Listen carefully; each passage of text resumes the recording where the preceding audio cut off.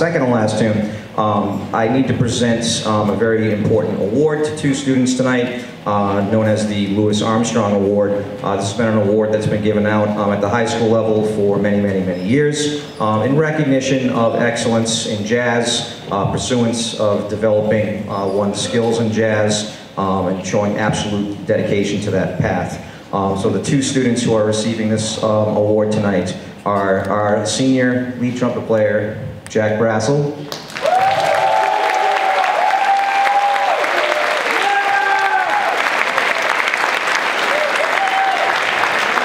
and our senior uh, pianist, who may be off stage, oh, he's, he doubles as a tambourine player, uh, Nikhil Vergas.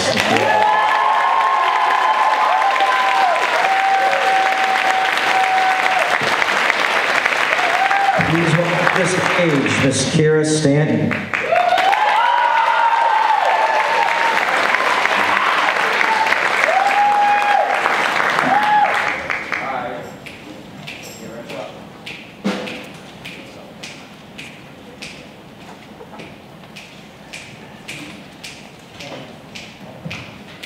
Street.